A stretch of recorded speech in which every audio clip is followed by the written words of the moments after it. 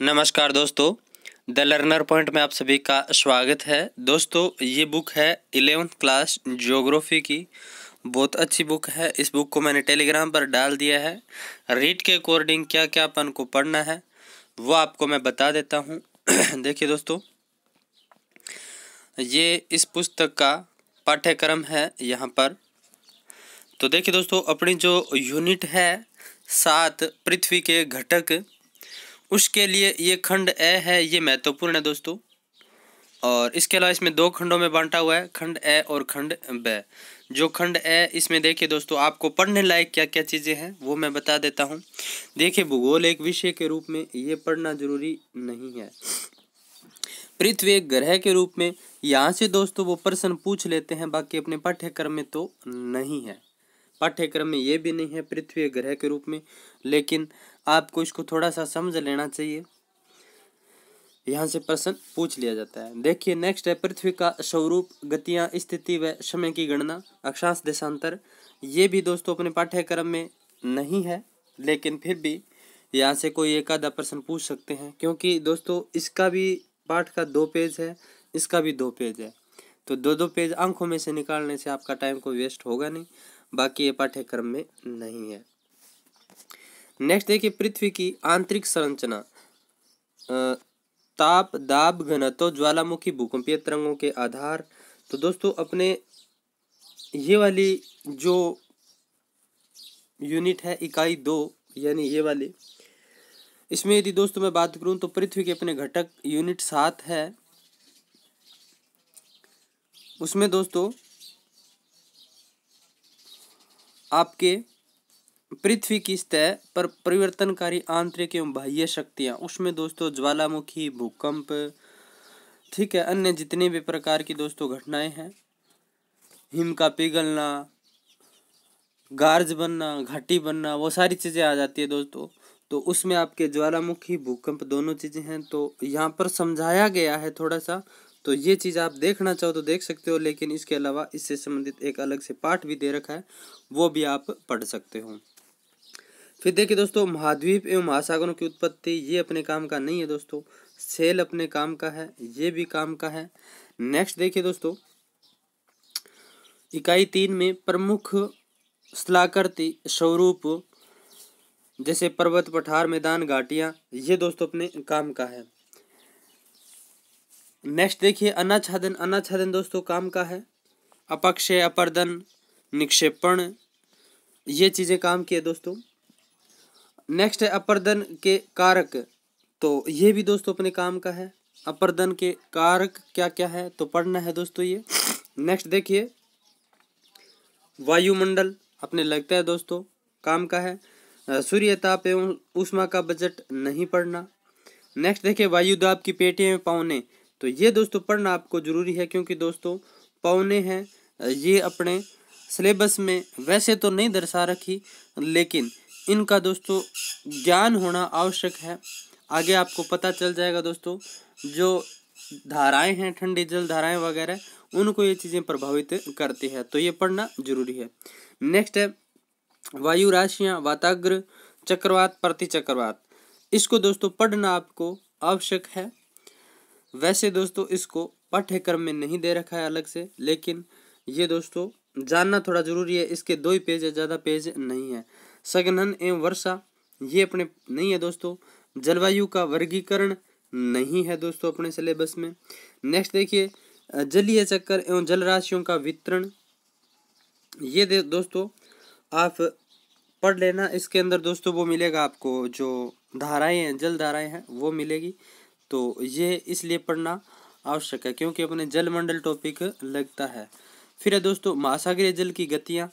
तो ये भी दोस्तों आपको पढ़ना आवश्यक है। ये दोनों इसी से रिलेटेड है दोस्तों। ये दोनों, दो दो पेज है, पढ़ लेना, ठीक है? नेक्स्ट देखिए, महासागर उच्चावच, तापमान एवं लवणता। तो महासागरीय उच्चावच दोस्तों जो सलाह करतियाँ हैं, वो दोस्तों अपने है पाठ्यक्रम में। यदि अपन जलमंडल, स्थलमंडल इनको देखें तो इसके अंतर्गत उच्चावच है, वो भी आते हैं। फिर है महासागरीय संसाधन नहीं है।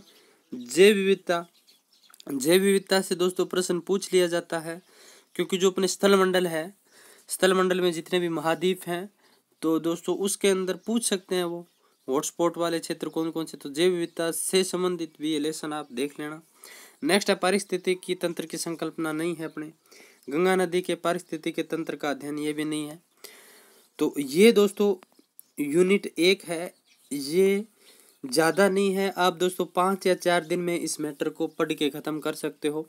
और आपकी पाँच दिन के अंदर पृथ्वी के घटक वाली यूनिट है, वो अच्छे से तैयार हो जाएगी। सिर्फ़ पाँच दिन में पृथ्वी के घटक वाली बहुत अच्छे से यूनिट तैयार हो जाएगी, इन्हें आपके पाँच नंबर पक्के हो जाएँगे। फिर देखिए दोस्तों, खंड ख है भारत का भूगोल। तो अपने दोस्तों, भारत का भूगोल एवं संसाधन लगता है टॉपिक तो देखिए, भारत की स्थिति विस्तार पढ़ना है। फिर भारत भारत की विविधताओं में एकता और भारत की विविधता में सांस्कृतिक एकता। ये दोस्तों, दोनों आपके नहीं लगते, दोनों ही पाठ नहीं पढ़ने दूसरा, तीसरा।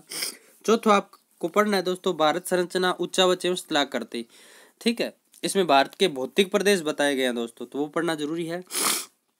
फिर है भारत का जलवायु, जल का प्रवाह तंत्र, यानी नदियाँ दोस्तों तो ये पढ़ना ज़रूरी है अपन को।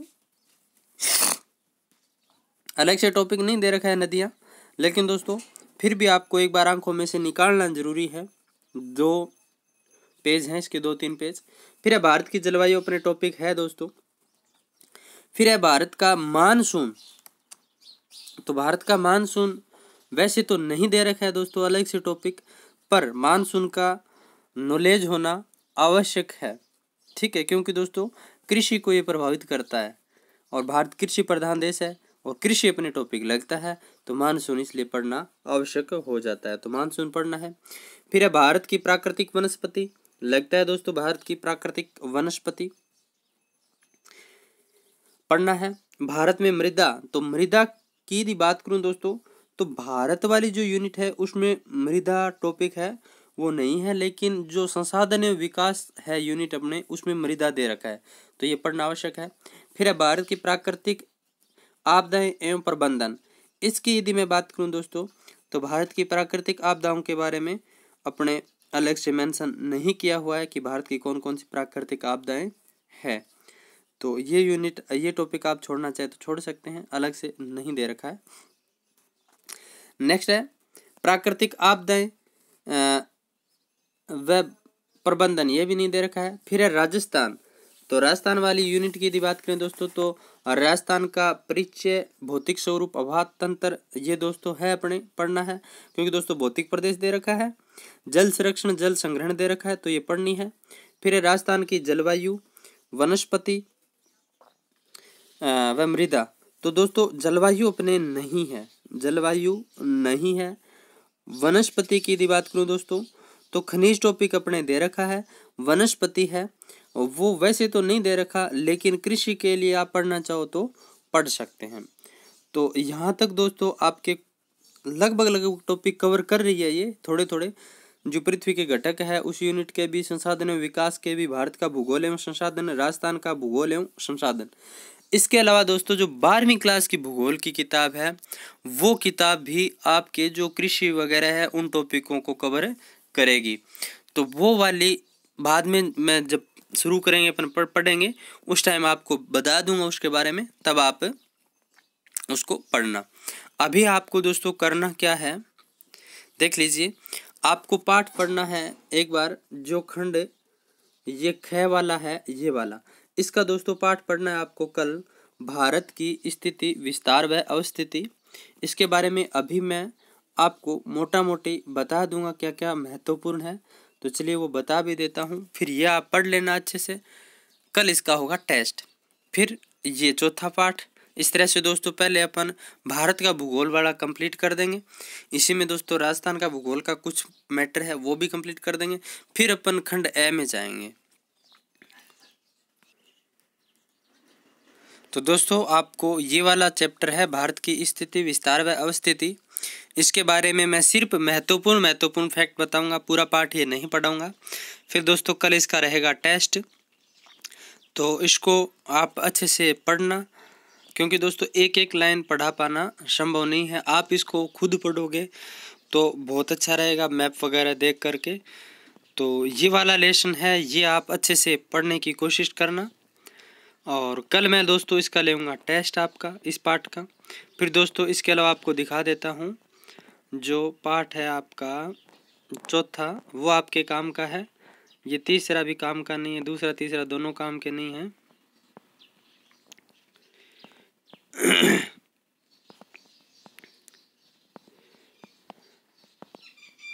ये ये काम का है दोस्तों। ये लेसन आपको पढ़ना है, ये वाला। ये भारत का भौतिक प्रदेश है, वो दे रखा है बहुत अच्छे से। तो ये वाला आप पढ़ लेना अच्छे से।